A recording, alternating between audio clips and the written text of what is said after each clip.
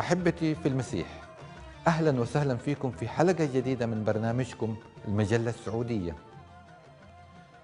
وزي ما تعودنا حنبدأ في سؤال الأسبوع وحيكون معنا مستضيفين الأخ عماد العبدي. أهلا وسهلا أخ عماد. أهلا حياك الله دكتور كيف الصحة؟ سعيد اكون موجود معك الحمد لله. كيف الأسبوع مر عليك إن شاء الله؟ الحمد لله بخير ونعمة وأتمنى إنه جميع المشاهدين بخير ونعمة. وسعيد جدا أكون معكم وأتمنى اني اكون آه خفيف على المشاهدين. آمين. ونستمتع آه بتمجيد ربنا مع بعض. آمين. اليوم حيكون موضوعنا أحبتي في المسيح. نبغى نسأل الأخ عماد عن اتهام دائما يوجه لنا إحنا المتقدمين للمسيحي يقولون أنت صرت مسيحي عشان تحب الحريم وتدور على الملذات. فنبغى نشوف مع إنه تعاليم الكتاب المقدس واضحه بهذا الأمر بس نبغى نسأل الأخ عماد إيش رأيك أنت بهذه التهمة؟ طيب طبعا بداية يا دكتور أنا يعني يعني أنا يعني أنا أعتذر آه، من لكل إنسان أساءت له آه، هذه الجملة. لأني أنا أعتبر إنها جملة مسيئة ومعيبة في حق اللي قالها اللي قالها قبل ما تكون مسيئة ومعيبة في حق من وجهت إليهم هالتهمة أيوه لأنه ممكن نسمع اتهامات يعني آه، زي ما تكلمنا في حلقة سابقة آه، أنتم جهلاء بالدين أنتم ما تعرفون. في أعذار كثيرة أيوة. وأسباب يدافعوا عن نفسهم فيه لكنه إنهم يتهموا الغير بال بال بال بالفحش آه، وكأنهم هم أصحاب ال- الفضيلة وإن هم دعاة ال- الشرف. فهذا أمر يعني محرج ومخزي. ومش كذا الإنسان يتعامل مع المواضيع. هذه حجة الضعيف والضعيف جدا. وأنا أرى إنه سببها يرجع للعنجهية اولا وعدم التقبل. مو يعني أنت عارف مو يعني أنت صدمة مو قادر ما يبغى يقبل. فيبغى يقول أي شيء يبغى يهاجم بأي وسيلة. وبرضه جهل جهل بتعاليم السيد المسيح. طيب برأيك يا عماد يعني من وين جاتهم الفكرة هذه حقت إنه يتهمونا يقولون أنتم عشان رحتوا على المسيح عشان المسيح مات وشال الخطايا حقكم ساعتها تسوي اللي تبغاه مع إنه أنت عارف طبعا المسيحية ما في هذا الكلام. إيه، لا هو هو هو كلامهم يا دكتور عن موضوع إنه أنتم تركتوا دين الآباء والأجداد واتبعتوا المسيحية لأن فيه انحلال أخلاقي وتدورون وراء الحريم وسعه الصدر. هو مو القصد منهم إنه ما فيه حساب والمسيح مسح خطايانا لا. أنا أتوقع إنهم يرون لأنه لأنه أنا أنا أعتذر لكن هذا التاريخ وهذه الحقائق إنه في استخدام آه، آه، لل- لل- للعنصر النسائي في في في, في الإسلام بشكل واضح في آه، سواء في الدنيا أو كسبايا وك- وكاستخدامهم الزوجات أيوه. وبرضه في الآخرة إنه فال- فالنساء دائما عنصر يبحث عنه أنا أنا أعتذر يبحث عنه ال- ال- الأخ المسلم ويرى إنه ممكن يكون سبب مقنع إنه الواحد يعني يسوي أي شيء علشانه.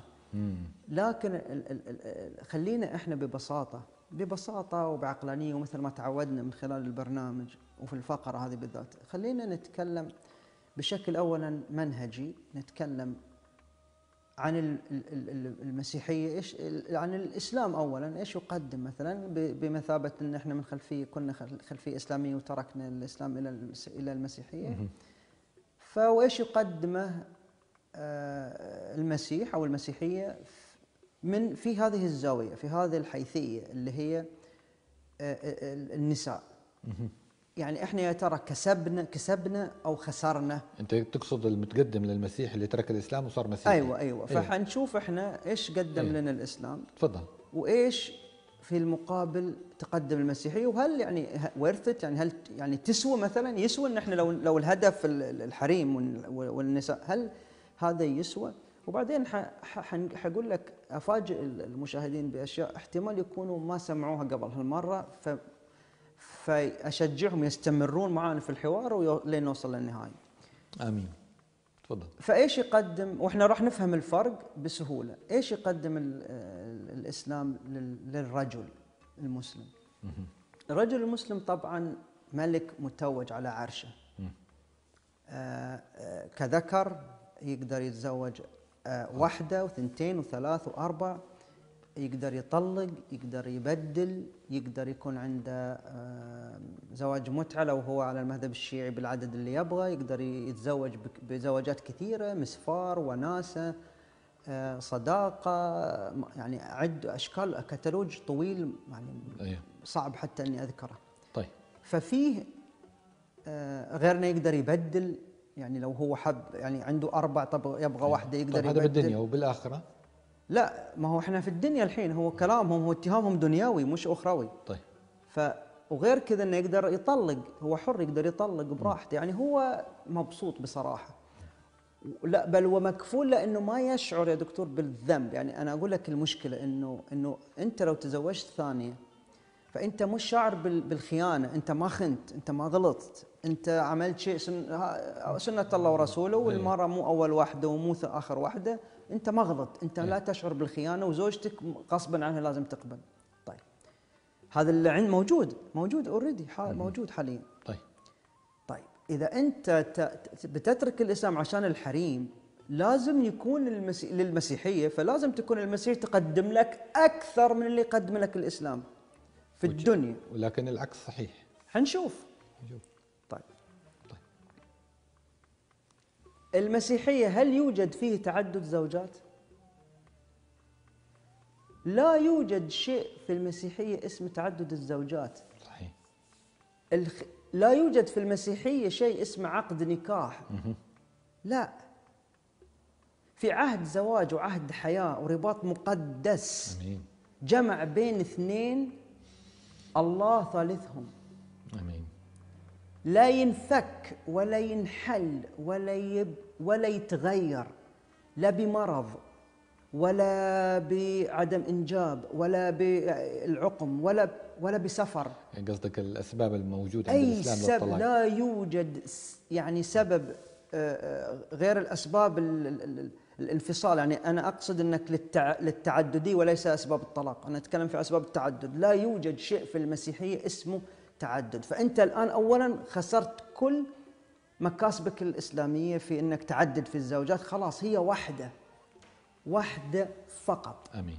لا و- وفي شيء مهم. الوحدة هذه يا دكتور أنا آسف. الوحدة هذه مساوية لك. نظير لك مثال مثلك. ما في فرق بينك وبينها. نعم. بعكس هناك أنت هناك السيد الآمر الناهي سوي لا تسوين فعلي لا تفعلين. فأنت الملك المتوج في البيت. في المسيحية أنت راسك براسها تخضع لك أي ولكن تحبه وتعاملها كالأضعف. وتقدم لها كل محبة واحترام. صحيح. وإلا تعاق. صلواتك. صحيح. فمين يعني أنت قول لي. مين عاقل حيترك كل ما كان موجود عنده ويروح الإسلام؟ من في الإسلام ويروح للمسيحية ويخسر كل السلطان والزوجات والطلاق و- وينحي يعني ويعيش حياة كلها حياة مقدسة مع زوجة واحدة. طيب عماد الحين مثلا في آه، في الإسلام في الحور العين. نعم. موعودين بالحور العين. بالمسيحية سألوا المسيح الفر الصدوقيين قالوا له يوم القيامة يعني حتكون زوجة لمين؟ قالوا ما في زواج.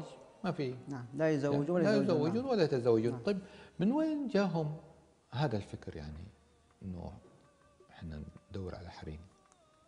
لا ما هو هذا أنا قلت لك في بداية ال- الفقرة إنه هو لأنه ال- ال- الدور النسائي موجود فعلا اكزيست يعني إحنا نعرف مثل في غزوة تبوك قال اغزوا تظفرون بنات ال- الاصفر فالعنصر النسائي كان له دور مؤثر آه، وحتى وحتى المال كان له دور مؤثر مثل في المال والبنون زينة الحياة اي الدنيا. مثل آه، في في في في في آه، استخدم المال بشكل كبير في حج في في ال- اللي هي سنة 9 الهجرة اللي هي جات أنا مش ذاكرها بالضبط إن شاء الله أذكرها في حلقات آه، قادمة لكن في شيء مهم بخصوص الحلقة حقت اليوم. إنه أنا ذكرت إنه الجهل بالإيمان المسيحي يخليه يف- يفكر إنه الإسلام صح. المسيحي إنه الإيمان المسيحي آه، لا يوجد فيه القداسة اللي أو أو المنع الموانع اللي موجودة في الإسلام. المهم إني أقول لك إنه المسيح والمسيحية فيها انضباط أخلاقي أكثر بكثير من من أي دين آخر. اسمح لي تفضل خليني أقرأ أعطيني لك. مثال. أقرأ لك كثير أنا لو حعد لك الأمثلة طبعا إحنا مت... خليني بس قبل ما أقرأ في شيء مهم. نعرف إنه في الوصايا العشر هذه موجودة في كل ال- ال- المسيحية وفي اليهودية لا تسرق لا تزني لا تف... هذا موجود. صح. لكن كان الوصية تقول ماذا مثلا؟ لا تزني. صح. هذا هو. طيب اذا الزنا هو اللي كان خطيئة. طيب. لا تزني وخلاص أنت أوكي. صح. طيب إيش جه المسيح قال؟ خليني أقرأ معاك لو سمحت. تفضل. في إنجيل متى؟ آه، 5 27 يقول قد سمعتم أنه قيل للقدماء لا تزني صحيح. وأما أنا فأقول لكم إن كل من ينظر إلى امرأة ليشتهيها فقد زنى بها في قلبه. فإن شوف شوف شوف التحذير وشوف كيف يعني كيف المسيح حط أربع خطوط على على القداسة قداسة العين لأنه العين سراج الجسد. نعم. يقول فإن كانت عينك اليمنى تعثرك فاقلعها والقها عنك لأنه خير لك أن يهلك أحد أعضائك ولا يلقى جسدك كله في جهنم. طيب. فتخيل أنت تعاليم وصايا بهذا الحجم الشديد من الانضباط. كان زنا بالفعل وأصبحت النظرة خطيئة. كان الزنا خطيئة وأصبحت النظرة خطيئة مساوية. طيب للفعل.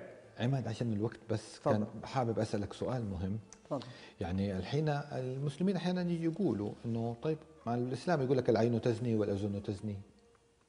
لا.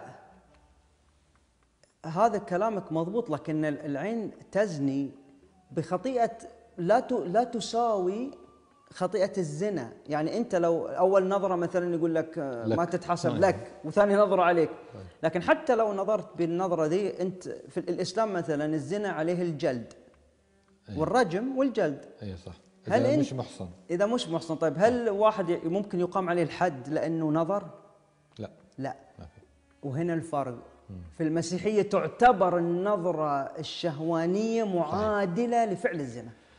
طيب آه، عماد وصلنا لآخر الحلقة بس حابب إيش تختم أنت وإيش رسالتك للسيد المشاهد؟